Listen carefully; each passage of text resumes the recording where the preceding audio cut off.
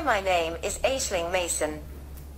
I use a lot of different assistive technology every day, but the assistive technology I would like to talk about today is how I communicate using the remote communication platform Microsoft Teams.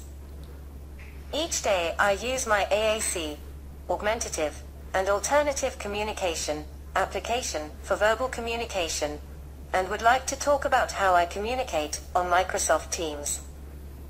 This is a vital resource in our current climate, as the day service I normally attend has thankfully provided a virtual service with many different daily activities and training programs using Microsoft Teams.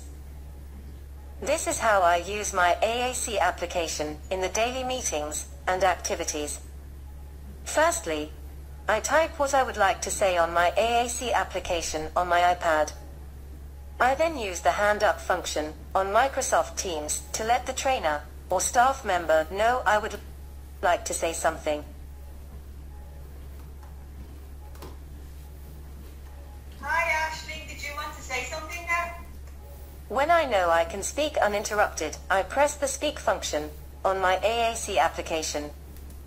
This Hello, Gary and Gray. How are you today? Yeah. Busy day. gives me the same independence and empowerment I have in the day service with communication. It enables me to communicate freely and has helped me during this uncertain period we now live in.